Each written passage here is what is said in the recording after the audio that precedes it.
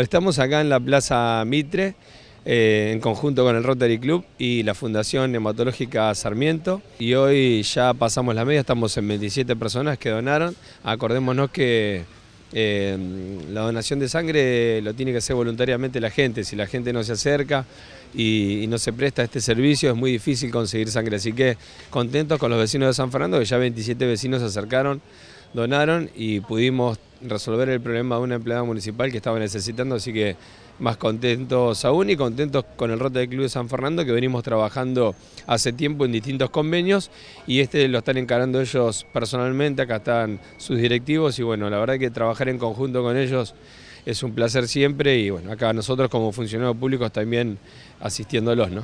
Nosotros estamos trabajando con el tema de la donación, para poder colaborar en los casos de emergencia, de necesidades, tanto para bomberos como para la gente de la municipalidad y, vecinos de acá de San Fernando.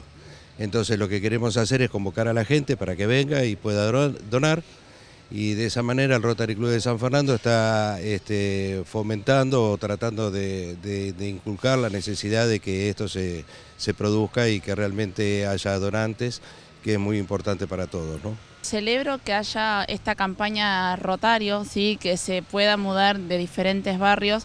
A veces uno no es que no quiera, sino por cuestiones de tiempo y demás, no puede acercarse a un lugar específico, sino que es capital.